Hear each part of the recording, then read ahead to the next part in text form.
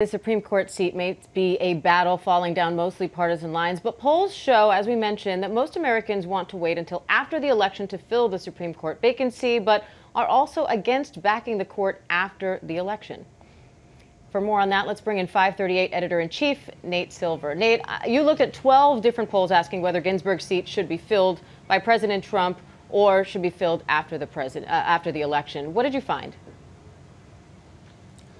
So for the most part, people would prefer to wait until after the election. Um, it obviously tracks with preference for the presidential vote overall. If you're a Trump voter, you might say fill it now. If you're a Biden voter, you'd say fill it later. Um, for right now, there are more Biden voters than Trump voters in polls. Biden is leading by seven or eight points in the average national poll. Um, the margin on the court might be a bit wider than that, but it all kind of comes down to the same partisan framework you see for almost every question these days.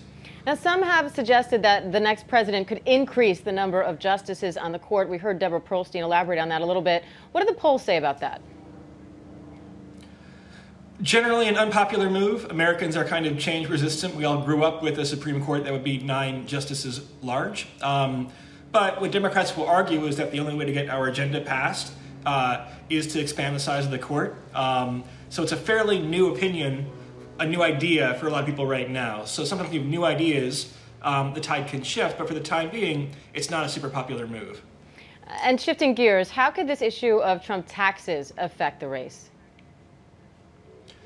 It's a bit early to say. I mean, look, the president is behind in polls now by a margin of, like I said, seven or eight points, a bit closer, maybe four or five points in the swing states. Um, so he needs to have a lot of favorable developments happen for him over the remaining 40 days of the campaign. He has to win debates. He has to have the Supreme Court battle work in his favor. Um, so anytime you have a story that is negative for Trump, and it may cause people to question, okay, how fair is this? How wealthy is the president actually? Um, you know, he doesn't want to be playing defense when he has to has to make up this decently sizable deficit. So again, it's anybody's guess for right now, um, but there's downside risk for, for President Trump.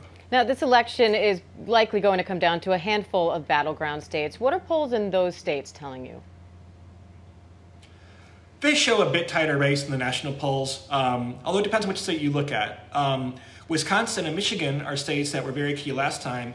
Biden actually has fairly large leads in those states, as many as seven or eight points. Um, on the other hand, Florida, a state that he also lost last time, might hope to make a comeback with older voters, is only up maybe two points there. Um, Right now, what we call the tipping point state, the most pivotal state, is Pennsylvania, where Biden is up by maybe five points in polls. Um, that is a state right now that would be decisive in the Electoral College. So, although Trump might have this nice deficit nationally, Biden having a nice lead, lead nationally, I should say, it's more like five points in Pennsylvania, which is the most important state for the time being.